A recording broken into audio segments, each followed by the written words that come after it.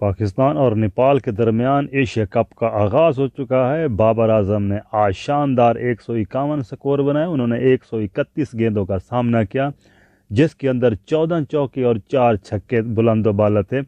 बाबर आज़म ने टॉस जीतकर बैटिंग का फैसला किया, वो इनके लिए बहुत बेहतर साबित हुआ, क्योंकि बाबर आज़म इस क्लास में हैं, क्योंकि मुल्तान में खेले गए जा रहे, खेले जा रहे पहले इनिंग्स के अंदर बाबर आज़म ने एक शानदार सेंचुरी बनाई, उसके बाद फिर हाफ़ सेंचुरी बनाई। तो यही की जा रही थी कि जिस तरह पिच है, फ्लैट है, और बाबर आज़म और दूसरे जो बैट्समैन हैं, क्योंकि पिच थोड़ी सी तेज़ थी और उसमें थोड़ा बाउंस भी उठ रहा था, देख रहे थे शार्ट बालें बहुत उठ रही थी, लेकिन बाबर आज़म बड़े बड़े तहमल के साथ शानदार बैटिंग की और चारों अतराफ में ग्राउंड के उन्होंने जारहाना चौके लगाए और उन्होंने अपने आप को दिखा दिया कि वाकई वो मास्टर क्लास हैं और उन्होंने ये शानदार सेंचुरी बनाई है। ये उनकी उन्नीसवीं सेंचुरी है और बाबर आज़म इस वक्त बहुत ही फ़ेमस हैं क्योंकि अच्छे कप्तान हैं लीड कर रहे हैं और बाबर आज़म को जैसे आम लोग कहते हैं कि बाबर आज़म को जीतने की एक आदत हो गई है क्योंकि पहली सीरीज़ के अंदर बाबर आज़म ने तो बस दो ही फिफ्टीज़ की थी और सेंचुरी नहीं बना सके थे अफ़गानिस्तान के ख़िलाफ़। लेकिन इस मैच में बाबर आज़म ने वो कर दिखाया जो बड़े बड़े कप्तान नहीं कर सकते।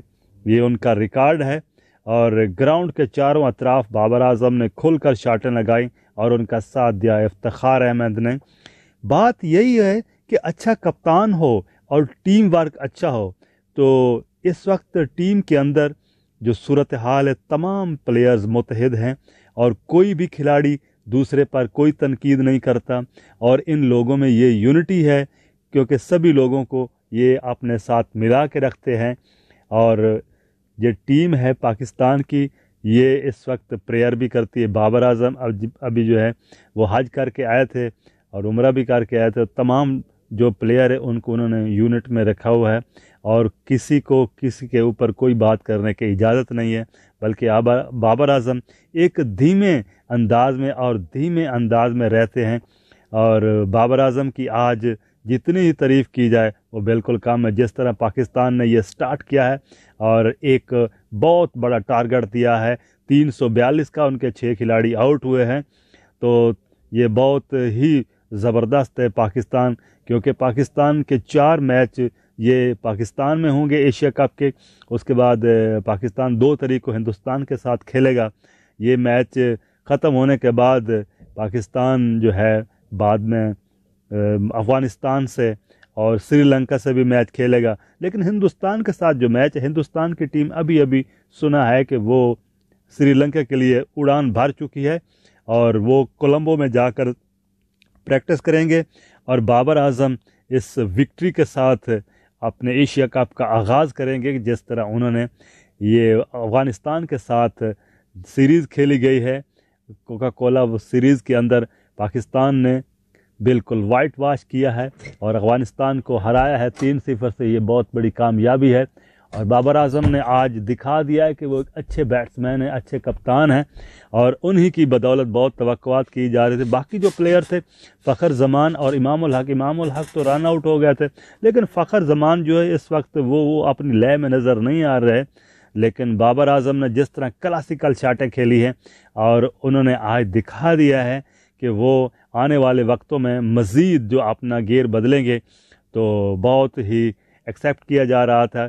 कि बाबर आज़म पे ये जो है, जो पारी उन्होंने खेली है तो उसमें टायर्ड भी बहुत हो चुके हैं।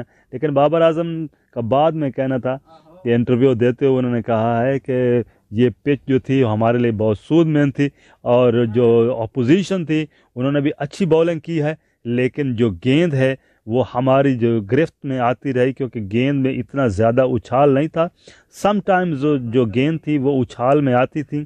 थोड़ा सा बाउंस होता था, लेकिन हमने उसको टैकल किया और इसको हमने हैंडल किया है जिसकी वजह, बदौलत से हमारा जो इतना स्कोर बना है, क्योंकि मुश्किल तो होती हैं, चाहे छोटी टीम हो या बड़ी टीम हो, उसके लिए इंसान को जो है एक मनसूबाबंदी करनी पड़ती है, लेकिन नेपाल के ख़िलाफ़ जो है हमने मनसूबाबंदी की थी कि जो गेंद यारकर टाइप या इस तरह की जो गलत है, और वैकी आर्थर भी बहुत खुश हैं बाबर आज़म की इस एक सौ इक्यावन की पारी पे, क्योंकि बाबर आज़म ने काफ़ी टाइम के बाद इतनी लंबी बारी खेली है, और बहुत ही फंटास्टिक बैटिंग की है। चारों अतराफ में ग्राउंड के उन्होंने जो चार छक्के लगाए हैं और चौदह चौके लगाए हैं, बहुत क्लासिकल। लेकिन बाबर आज़म को चांस नहीं मिला। ये बात भी मैं वाजह कर दूँ कि बाबर आज़म का कोई कैट ड्राप न है, जिसकी वजह से वो चारों अतराफ में खेलते रहे।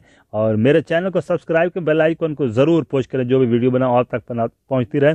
ये एशिया कप का पहला मैच खेला जा रहा है।